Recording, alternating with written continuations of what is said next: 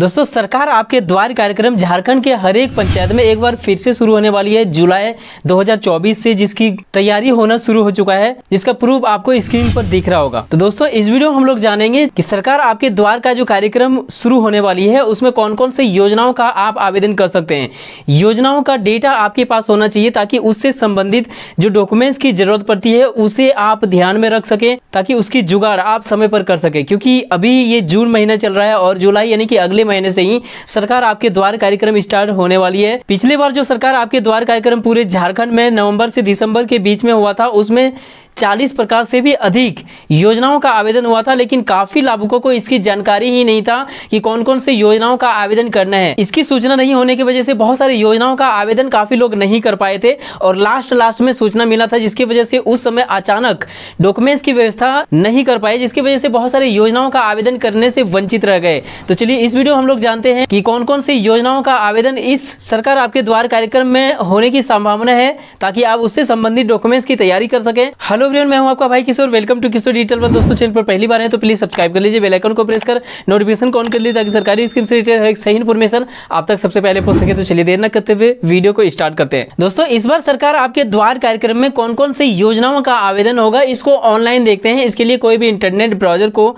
On करके search करना है। सरकार आपके द्वार झारखंड, जैसे आप सरकार आपके द्वार झारखंड लिख के सर्च करते हैं, यहाँ पे आपको पहला वेबसाइट दिख जाएगा। ये बहुत सारे वीडियो यहाँ पे आपको नीचे देखने को मिलेगा। ये देख सकते हैं क्योंकि मैंने सरकार आपके द्वार कार्यक्रम से रिलेटेड मैंने बहुत सारा अपडेट दिया हुआ है। तो अभी तक वीडियो को नहीं देखे तो यहीं पर क्लिक करके आप वीडियोस को देख सकते हैं, जो कि बहुत ही ज़्यादा इंपॉर्टेंट है। मैंने हर एक चीज़ों को इन वीडियो में बताने का प्रयास किया हुआ है। तो अभी फ़िलहाल हम लोग पहले लिंक की ओर बढ़ते हैं।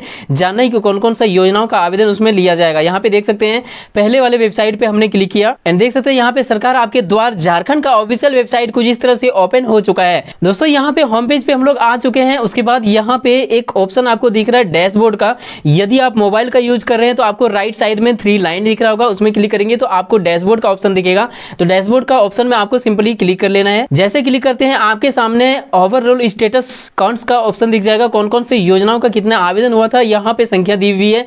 हमें जाना है नीचे, इसके लिए स्क्रॉल डाउन करना है। यहाँ पे देख सकते हैं ओवरऑल स्कीम एप्लीकेशन स्टेटस का यहाँ पे आप को ऑप्शन दिख जाएगा। ये जो आवेदन हुआ था, ये पिछले साल का डेटा बताया जा रहा है, लेकिन यहाँ पे योजना का नाम देखना है आपको। ये सभी योजनाओं का ऑप्शन आपको इस बार देखने को मिलेगा, लेकिन इसमें कुछ और जोड़ा जा सकता है।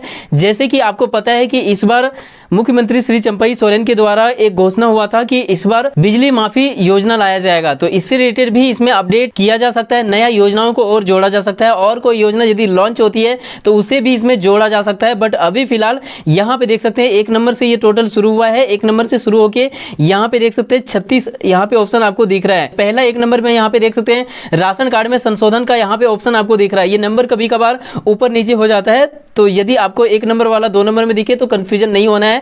बस आपको योजना का नाम आपको देखना है। यहाँ पे देख सकते हैं राशन कार्ड में संशोधन।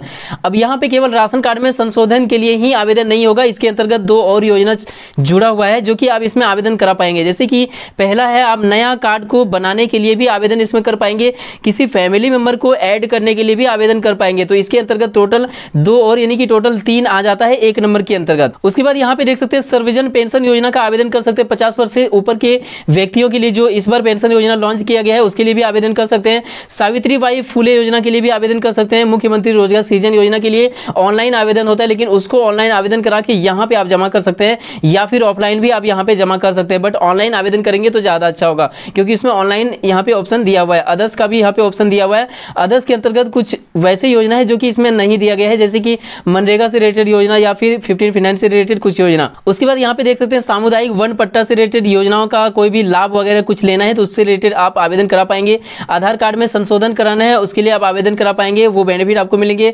पंद्रहवीं वित्त यानी कि फिफ्टीन फाइनेंस रिलेटेड योजनाओं का आप आवेदन करा पाएँगे, जो कि मुखिया के फंड में पैसे आती है, जैसे कि पुलिया वगैरह बनाना, नाला पीसीसी बनाना, इस तरह की जो भी काम मुखिया फंड के पैसे से होती है, उसके लिए आप आवेदन करा पाएँगे। अगला यहाँ पे है, देख सकते हैं ऑनलाइन भू अभिलेखों में सुधार से रिलेटेड आवेदन करा पाएँगे, मृत्यु प्रमाण पत्र में संशोधन या फिर नया मृत्यु प्रमाण पत्र बनवाना है तो उसके लिए भी, इसके अंदर भी दो योजना छुपा हुआ है। तो ये दोनों योजनाओं के लिए आप आवेदन करा पाएँगे, उसके बाद अबुआ आवास योजना के लिए दोबारा से आवेदन होगा, जैसा कि मैं आपको वीडियो में, परसों का वीडियो में आप लोगों में प्रूफ के साथ दिखाया गया था। पेपर कटिंग में लिखा हुआ है कि अब आवास योजना का से आवेदन लिया जाएगा। तो यहाँ पे देख सकते हैं, इसके लिए भी आप आवेदन कर पाएँगे। उसके बाद यहाँ पे देख सकते हैं, जाति प्रमाण पत्र, आय प्रमाण पत्र, इन दोनों के लिए भी आवेदन कर पाएँगे।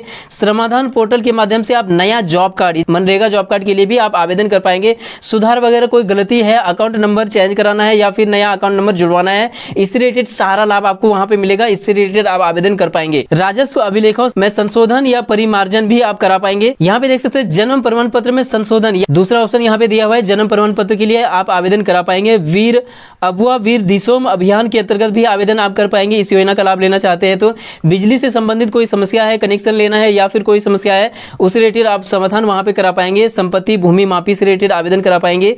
जनजाति कल्याण योजना से रिलेटेड आप आवेदन करा पाएँगे। आयुष्मान कार्ड भी आप वहाँ पे बनवा सकते हैं। मुख्यमंत्री पशुधन योजना के अंतर्गत भी आवेदन करा सकते हैं, जिसमें गाय मिलती है, नब्बे परसेंट तक की भी आपको अनुदान की उसमें छूट दिया जाता है। एंड इस योजना के अंतर्गत बकरा कुकर और बतख पालन से रिलेटेड भी योजना इसमें दिया जाता है। तो इसके लिए आप आवेदन करा पाएँगे। आय प्रमाण पत्र में कोई संशोधन कराना है तो वो करा पाएँगे। विरसा सिंचाई कूप संवर्धन योजना के अंतर्गत सिंचाई कूप के लिए आप आवेदन करा पाएँगे। धोती, साड़ी, लुंगी वितरण का भी समारोह वहाँ पे किया जाएगा।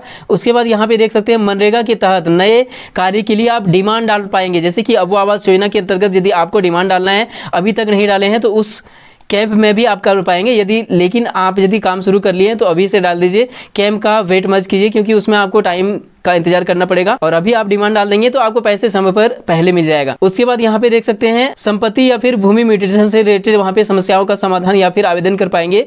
गुरुजी स्टूडेंट क्रेडिट कार्ड का भी आवेदन करा पाएँगे अप्रूवल से भी रिलेटेड आप वहाँ पे लाभ ले पाएँगे। उसके बाद कंबल वितरण, आधार पंजीकरण, ये सभी सुविधा वहाँ पे उपलब्ध कराया जाएगा। मृत्यु प्रमाण पत्र के लिए भी आवेदन वहाँ पे करा पाएँगे। वन पट्टा से रिलेटेड व्यक्तिगत वन पट्टा से भी रिलेटेड वहाँ पे सुविधा आपको दिया जाएगा। Credit card Kisan credit card यानी कि केसीसी के लिए भी आप आवेदन वहाँ पे करा पाएँगे। उसके बाद लगान रसीद, ज़मीन का लगान रसीद आपको कटवाना है तो वो भी आपको सुविधा वहाँ पे उपलब्ध करा दिया जाएगा। दिव्यांगता प्रमाण पत्र यानी कि डिसेबिलिटी सर्टिफिकेट का भी आवेदन आप वहाँ पे करा पाएँगे। तो ये छत्तीस प्रकार का योजना का नाम आपको यहाँ पे दिख रहा होगा, जो कि पिछले वर्ष का यहाँ पे संख्या वगैरह सारा चीज़ दिया हुआ है, कितना आवेदन हुआ था, कितना डिस्पोज हुआ था। ये संख्या यहाँ पे देख सकते हैं, ये टोटल एप्लीकेशन है डिस्पोज हो गया है इन प्रोग्रेस में है। ये संख्या यहाँ पे दिख रहा है, ये पिछले वर्ष का डाटा है बट इसमें और जोड़ा जा सकता है। इस बार ये 2024 में इसमें और योजनाओं को इसमें जोड़ा जा सकता है। तो जैसे कोई योजना को जोड़ा जाता है तो मैं आपको अपडेट इसी चैनल के माध्यम से प्रोवाइड करूँगा। उसके बाद यहाँ पे जो छत्तीस प्रकार का योजना है तो सभी योजनाओं में कौन कौन सी डॉक्यूमेंट्स की रिक्वायरमेंट है, इस वीडियो में कवर करूँ तो वीडियो काफ़ी लंबी हो जाएँगी बट आपको ये अनुमान लग गया होगा कि कितने प्रकार का योजनाओं का आवेदन वहाँ पर लिया जाएगा, और इससे संबंधित आपको कौन कौन सी तैयारी कर लेना चाहिए? तो दोस्तों, ये सभी योजनाओं का आवेदन करने के लिए मुख्य रूप से आपके पास आधार कार्ड, बैंक पासबुक, ये दोनों होना चाहिए। पासबुक साइज़ का फ़ोटो होना चाहिए।